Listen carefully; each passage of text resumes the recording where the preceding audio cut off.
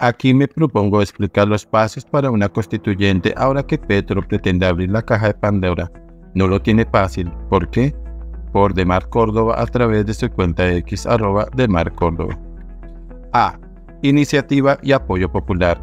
La convocatoria a una asamblea constituyente ha requerido de un amplio apoyo popular.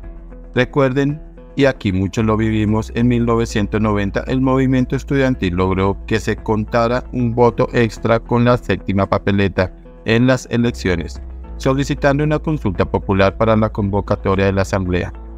B. Debe haber una ley aprobada por el Congreso. De acuerdo con el artículo 376 de la Constitución, es necesario que el Congreso apruebe una ley por mayoría de sus miembros que disponga que el pueblo mediante votación popular, decida si convoca a una asamblea constituyente. Esta ley debe especificar la competencia, el periodo y la composición de la asamblea. Petro no tiene mayorías en el Congreso que sí tuvo Chávez. Esta ley tiene control previo y automático de la Corte Constitucional. No puede tener vigencia sin que la Corte la revise. C. Votación popular y convocatoria oficial. Para que la asamblea sea convocada es necesario que al menos una tercera parte de los integrantes del censo electoral apruebe la convocatoria en una votación. En el caso de 1990 se realizó una consulta oficial al pueblo durante las elecciones presidenciales.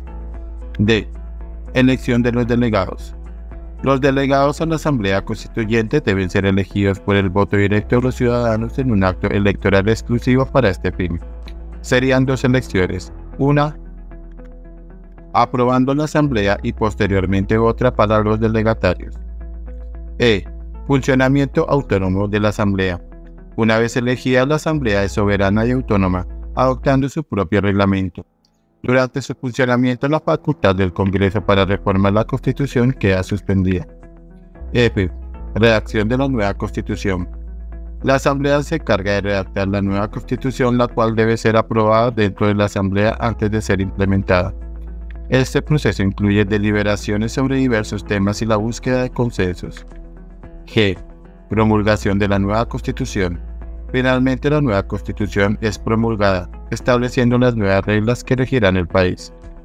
Como habrán leído, no es cosa sencilla a la luz de la misma Constitución del 1991.